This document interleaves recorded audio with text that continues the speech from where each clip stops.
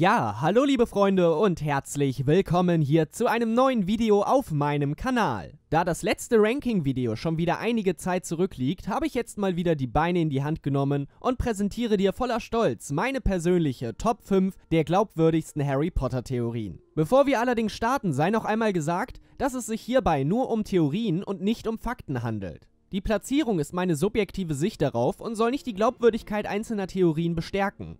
Trotzdem halte ich es für gut möglich, dass so manche Theorie hier doch wahr sein könnte und wir einfach noch nicht aufgeklärt wurden. Lang genug gequatscht, fangen wir an. Für meinen Platz Nummer 5 ist tatsächlich J.K. Rowling höchstpersönlich verantwortlich. Kurz bevor der siebte Band, die Heiligtümer des Todes, veröffentlicht wurde, gab sie nämlich einige scherzhafte Spoiler-Informationen bekannt und eine davon war, dass der Riesenkrake im See von Hogwarts in Wirklichkeit die Animagus-Gestalt von Godric Gryffindor sei und dieser werde sich aus dem See erheben, wenn Hogwarts in größter Gefahr sei. Viele Fans waren nach dieser Aussage fest davon überzeugt, dass der Riesenkrake eine Rolle während der Schlacht um Hogwarts spielt, bemerkten allerdings dann später, dass Rowlings Aussagen nicht ernst gemeint waren. Trotzdem gibt es noch heute viele Befürworter dieser Theorie und das hat bestimmt auch etwas mit der Natur des Kraken zu tun. Denn bereits in den ersten Büchern konnten wir erfahren, dass vom Kraken absolut keine Gefahr ausgeht. Ganz im Gegenteil. Der Riesenkraken lässt sich wie ein Goldfisch mit Toast füttern oder an den Tentakeln kitzeln. In Harry Potter und der Feuerkelch berichtet der junge Dennis Creevy sogar, dass er aus dem Boot gefallen sei und der Kraken ihn zurückgeworfen hat. Es gibt diverse Mythen um riesige Kraken, doch haben diese meist gemeinsam, dass der Kraken alles andere als friedlich oder umgänglich ist. Godric Gryffindor war jedoch immer für seinen Heldenmut bekannt und ihm wäre durchaus zuzutrauen, als Wächter in Hogwarts bestehen zu bleiben. Und wenn man bedenkt, was für lebensgefährliche Wesen in Hogwarts ihr Unwesen treiben, Trolle, umherschlagende Bäume, dreiköpfige Hunde etc., ist es durchaus verwunderlich, warum ausgerechnet ein monströser Kraken nett sein soll. Deshalb mein Platz 5 für die Godric Gryffindor ist der Riesenkraken-Theorie. Kommen wir zu meinem Platz hier und damit zu der Theorie, dass die Dursleys nur so arschig zu Harry waren, weil er ein Horcrux war. Ich denke mal, wir alle haben uns nach dem ersten Teil von Harry Potter das gleiche gedacht. WTF, was sind die Dursleys bitte für dumme Piep? Vor allem dachte man ja auch, ihr Zorn gegen Harry beruht nur auf Streitigkeiten zwischen Petunia und Lily und der arme kleine Harry muss das jetzt ausbaden. Doch vielleicht war Harry selbst ja gar nicht so unschuldig. Okay, natürlich konnte er auch nichts dafür, ein Horcrux von Voldemort zu sein, aber ihr wisst, was ich meine. Wie wir aus Harry Potter und die Heiligtümer des Todes Part 1 wissen, kann direkter Kontakt zu einem Horcrux zu stark negativen Stimmungen führen. Ein Beispiel dafür war Ron selbst, der eine Zeit lang Slytherins Medaillon trug und daraufhin so jähzornig wurde, dass er die Gruppe kurzerhand verließ. Er verließ damit nicht nur seine Freunde, die er seit so vielen Jahren kennt und schätzt, sondern auch seinen besten Freund Harry und seine Liebe Hermine. Ergo muss ihm der Horcrux sehr stark zugesetzt haben, wenn er eine solch schwere Entscheidung im Bruchteil von Sekunden trifft. Und Rons Reaktion entstand bereits nach ein paar Tagen. Was passiert also, wenn man mit einem Horcrux viele Jahre zusammen unter einem Dach lebt und ihm quasi täglich ausgeliefert ist? Das müssten wir jetzt die Dursleys fragen, die viele Jahre mit Harry, also einem Horcrux, zusammenlebten. Also war Harry vielleicht wirklich der Grund für den Hass seiner Verwandten auf ihn? Natürlich spricht dagegen, dass Hermine nie einen solchen Zorn auf Harry entwickelte, doch die Dursleys haben wesentlich mehr Zeit mit ihm verbracht. Man muss sich also selbst die Frage beantworten, für wie wahr man diese Theorie hält. Bei mir reicht es für Platz Nummer 4. Platz 3 ist für mich die Theorie, dass Krummbein die entlaufene Katze von Lily und James Potter ist. Klingt im ersten Moment vielleicht etwas weit hergeholt, wenn man sich jedoch die Argumente dazu anschaut, kann man durchaus stutzig werden. Denn was wissen wir?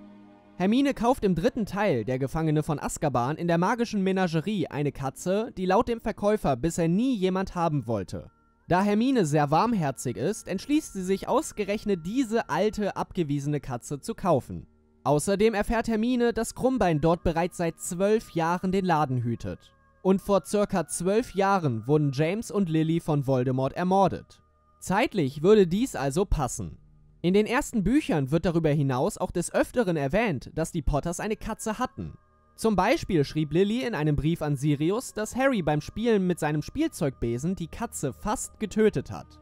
Jedoch ist das weitere Schicksal der Katze unbekannt Höchstwahrscheinlich ist sie nach Voldemorts Eindringen ins Haus geflüchtet oder spätestens nachdem das Haus dem Erdboden gleichgemacht wurde. Ein weiteres Argument für diese Theorie ist, dass sich Krummbein immer sehr gut mit Sirius verstanden hat, aber Peter Pettigrew nicht ausstehen konnte. Jetzt können viele denken, hey Daniel, du rechnest einer Katze hier viel zu viel Intelligenz an. Aber Achtung, jetzt folgt das letzte Argument. J.K. Rowling gab nämlich selbst zu, dass es sich bei Krummbein um keine normale Hauskatze handelt, sondern um einen Kniesel. Ein Kniesel sieht zwar aus wie eine Katze, ist aber wesentlich intelligenter, strapazierfähiger und kann auch deutlich älter werden als eine normale Katze. Vielleicht hat er also mitbekommen, welch falsches Spiel Peter mit den Potters gespielt hat. Oder er hat es von Sirius erfahren. Seine Reaktion daraus, Krätze zu fressen, wäre somit völlig nachvollziehbar. Dass Harry selbst die Katze nicht erkennt, ist wohl dem verschuldet, dass er damals einfach zu jung war. Alles in allem aber eine wirklich tolle Theorie, die man durchaus für wahr halten kann. Platz Nummer 2 geht an eine Theorie, die ziemlich deutlich die Grenze zwischen Theorie und Fakt überschreitet. Was genau ich damit meine, erfährst du jetzt. Und zwar geht es darum, dass Neville genau dann talentierter wurde, als er einen neuen eigenen Zauberstab bekam.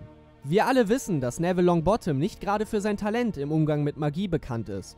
Doch änderte sich dies im fünften Teil, nachdem er sich der Dumbledores Army anschloss und von Harry Potter unterrichtet wurde. Viele, mich mit eingeschlossen, dachten am Anfang, sein neues Talent wäre nur dem DA-Unterricht zu verdanken. Doch sollte man auch nicht vergessen, dass Neville im fünften Teil einen neuen eigenen Zauberstab hatte. Davor verwendete er den seines Vaters. Wir wissen jedoch von Garrick Ollivander persönlich, dass sich der Zauberstab den Zauberer aussucht und nicht umgekehrt. Außerdem, dass man nur sein volles magisches Potenzial wirken kann, wenn der Zauberstab einem dient. Und das tut er nur, wenn er entweder durch einen Zweikampf gewonnen wurde oder der Zauberstab bei Ollivanders gekauft wurde. Also sich der Zauberstab für den Zauberer entschieden hat. Doch der Zauberstab von Nevilles Vater erfüllt diese Regel nicht und dürfte somit Nevilles volles Potenzial verweigert haben. Als er dann im fünften Teil einen neuen Zauberstab von Ollivanders hatte, wurde er schlagartig besser. Nein, mehr noch. Er wurde zu einem gefeierten Helden. Auch bei Ron Weasley konnten wir etwas ähnliches feststellen. Im ersten und zweiten Teil verwendete dieser nämlich den alten Zauberstab seines Bruders Charlie. Also hat man auch hier keine Regel von Ollivander befolgt. Und das spiegelte sich in Rons Können wieder. So schaffte er es zum Beispiel nicht, den Wingardium Leviosa Zauber im ersten Teil zu wirken, und glänzte darüber hinaus auch in keinen anderen Fällen durch magisches Geschick. Erst nachdem er im dritten Teil seinen eigenen Zauberstab bekam, wurde er langsam etwas besser. Eine wirklich gute und glaubhafte Theorie und vor allem eine Theorie, wo ich mich freuen würde, wenn Rowling diese als Fakt bestätigen würde. Und auf Platz 1 meine absolute Lieblingstheorie, die ich sogar bis heute noch für möglich halte. Allerdings wird es wohl noch dauern, bis wir dazu eine offizielle Antwort bekommen. Damit meine ich die Theorie, dass Hagrid die Akromantula Aragog von Newt Scamander bekommen hat. Die Hinweise, die darauf deuten, sind schon ziemlich eindeutig, aber fangen wir mit einem Satz an, der von Aragog höchstpersönlich kam. Dieser sagte nämlich zu Harry und Ron im verbotenen Wald, ich kam aus einem fernen Land im Koffer eines Reisenden. Und genau jetzt sollten einige von euch spitze Ohren kriegen. Denn welcher neue Protagonist reist durch verschiedene Länder, bewaffnet mit einem besonderen Koffer und sammelt diverse magische Tierwesen? Ganz genau. Newt Scamander. Wir wissen bereits aus dem ersten Fantastic Beasts Film, dass Newts Intention daraus besteht, seine Tierwesen an sichere Orte zu bringen, wo sie ihr Leben in Ruhe fristen können, ohne eine Gefahr für andere oder sich selbst darzustellen. Eine Akromantula jedoch ist höchst gefährlich und kann nicht mal eben wie der Thunderbird im Central Park ausgesetzt werden. Also, wohin mit ihm? Der verbotene Wald bzw. Hagrids Obhut stellte eine durchaus interessante Möglichkeit dar. Wir wissen, dass Newt Hogwarts des Öfteren besucht hat und vielleicht hat er Hagrid die Akromantula anvertraut, weil beide eine sehr große Liebe zu magischen Tierwesen haben und weil der verbotene Wald ein super Zuhause für Aragog darstellt, da es den Schülern verboten ist, hineinzugehen. Ein ebenfalls sehr gutes Argument ist für mich, dass ich glaube, dass Rowling viele Verbindungen zwischen Harry Potter und Fantastic Beasts schaffen möchte und dies wäre eine absolut logische und extrem authentische Chance, eine Verbindung zu schaffen, die für jeden Potterhead sehr episch anzusehen wäre. Ich würde sogar fast meine Hand dafür ins Feuer legen, dass wir im Laufe der nächsten vier Fantastic Beasts Filme diese Theorie bestätigt bekommen. Also abwarten. Ja, das war meine persönliche Top 5 der glaubwürdigsten Harry Potter Theorien. Natürlich würde mich auch deine Meinung interessieren. Welche Theorie hältst du für möglich und welche eher nicht? Und kennst du vielleicht noch andere sehr gute Theorien, die der Wahrheit entsprechen könnten? Schreibt mir gerne alles, was euch dazu einfällt, unten in die Kommentare. Und in diesem Sinne euch allen einen schönen Tag, macht was draus und ciao Leute!